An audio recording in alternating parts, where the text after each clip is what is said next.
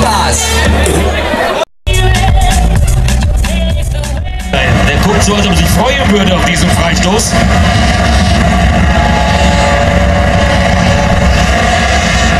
Schweinsteiger macht's. Nein, Podolski. Möglichkeit verpufft. Tevez, selten genug, dass er hinten mitarbeitet.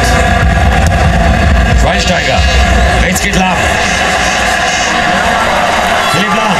Von Schweinsteiger. Lahm gegen Heinze.